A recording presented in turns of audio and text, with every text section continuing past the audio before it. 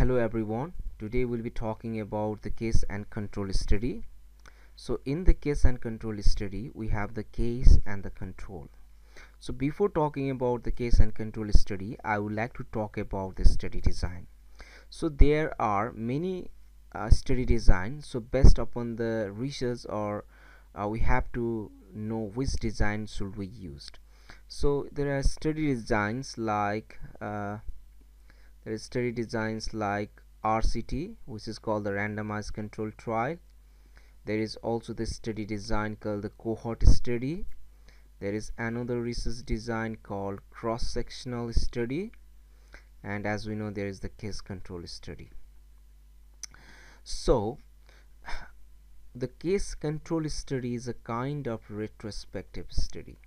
So what does this retrospective means? Means we are looking backward so we are looking backward.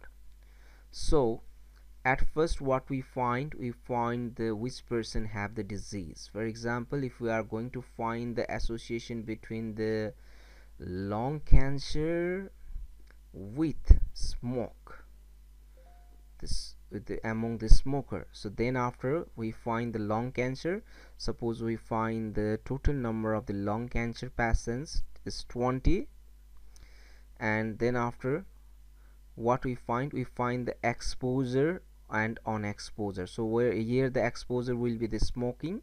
So suppose 15 of this lung cancer patient smoke then it is placed on this exposed group.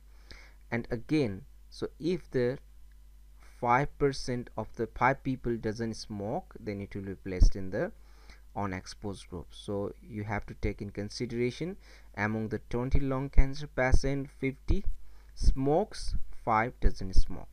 So similarly what about the controls? So i have taken i have told that these controls are free of disease. So it means here the control does not have the lung cancer.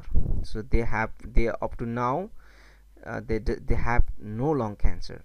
So now suppose we have taken the 30 control then after we have to find how many of the people doesn't smoke. For example uh, five people doesn't smoke and remaining 25 percent smokes. Okay so what we have done here so we have just you know categorize the cases and control into the exposed and the non-exposed group. So why this is necessary? This is necessary to find the association between the lung cancer and the smoke.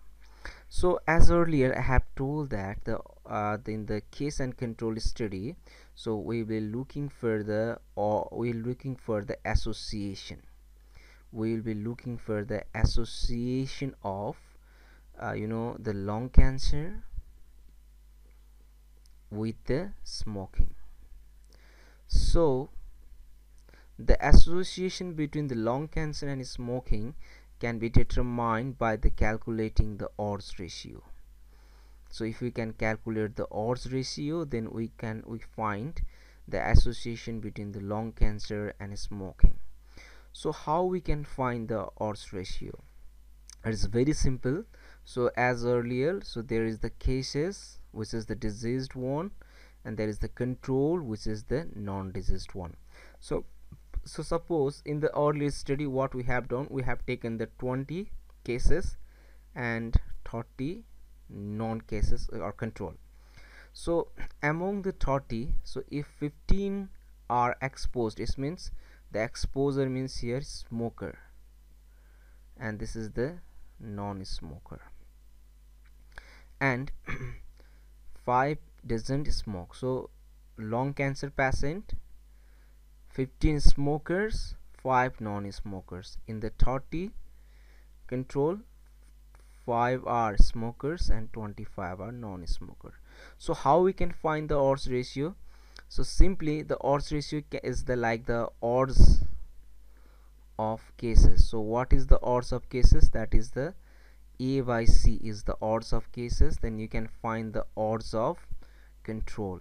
So the odds of control will be the 5 by 25 which is b by d which is 5 by 25 you can write it on okay.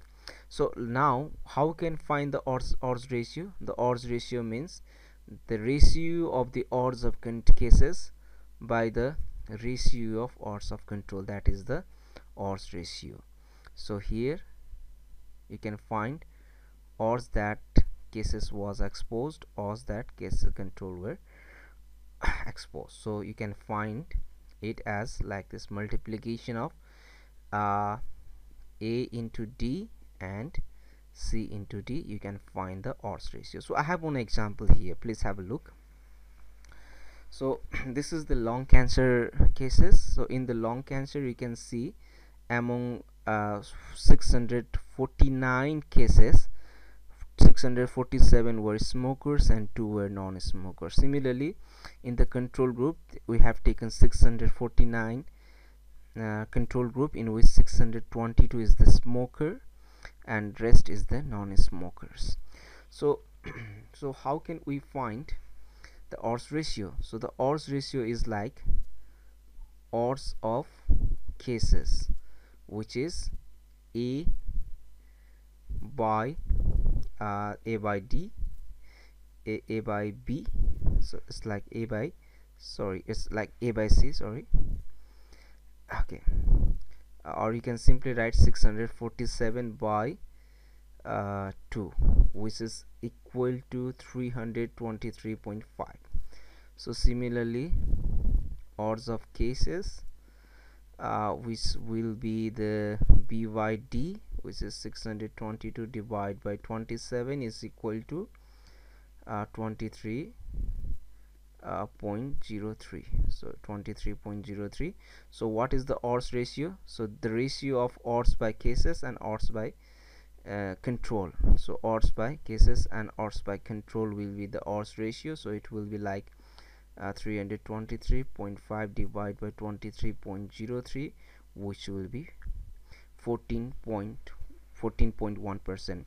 So here we find the association between the lung cancer and smoke. So we find the association between the lung cancer and smoke. So what does this mean? So what does this value means? This means that smokers have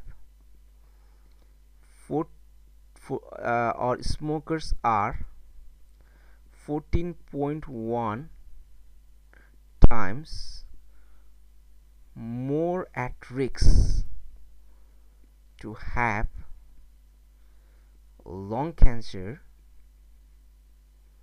than non-smokers.